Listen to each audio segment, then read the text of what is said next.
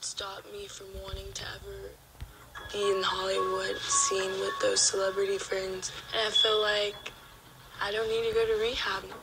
I feel like I could actually do good without rehab. Hello, everyone, and hope the weekend is going well. So, Master P announced the tragic death of his daughter Tytyana Miller at the age of 29 recently. And this is the statement that he made regarding to his daughter's passing. He said, Our family is grieving with an overwhelming grief for the loss of my daughter Tytyana. The 52 year old musical artist, whose real name is Percy Robert Miller Sr., said on his socials. In a wake of the sad announcement, a number of the family's fans took to social media to pay condolences to Tytyana. One person said that, you know, I remember her struggles and my condolences to the Miller family. Another person said, I cannot believe that Tytyana Miller passed. She was just about to turn 30. She battled for so long with health issues uh, Romeo and Master P really tried to help and guide her into the right direction. This is so tragic. And so we understand that Master P has now come out since announcing the passing of his daughter. He's come out to thank everyone for their love, the prayers, and support.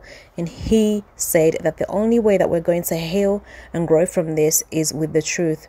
It has been a long time and it has been a painful journey for our family. My daughter has been battling with this since 2015 mental illness is a real issue, and we hope to turn this tragedy into a testimony. As a father, I have always established parameters to protect my children. Unfortunately, when they became adults, they have the legal right to choose who to have relationships with, whether healthy or unhealthy. I put my faith and trust in God. I realize that no person is exempt from pain or death.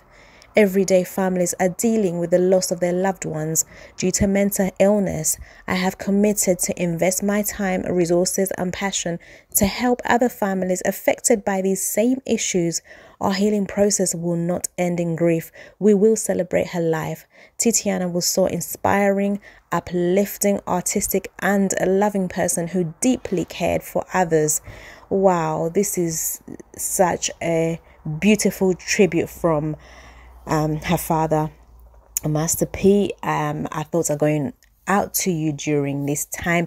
And indeed, it is true what he says is that as parents, you know, you have your child, but once they turn an adult, you really don't have any much control as to who they associate with. Yes, you can give an opinion, but ultimately, once a child turns into an adult, at the end of the day, you leave them to make certain decision, hoping that they will make the right decisions and they will associate with the right company. But unfortunately, it, sometimes it doesn't always go this way. And I'm really glad that he has come out to say that because of this tragedy that he has experienced as a father, with you know dealing with a child who has struggled with mental health issues he is now going to devote the rest of his time and resources into making sure that at least other families don't have to go through what he has experienced as a father and Master P, I rate you for that. I rate you. Thank you so much because during the time that you're grieving, you are still thinking about other people. And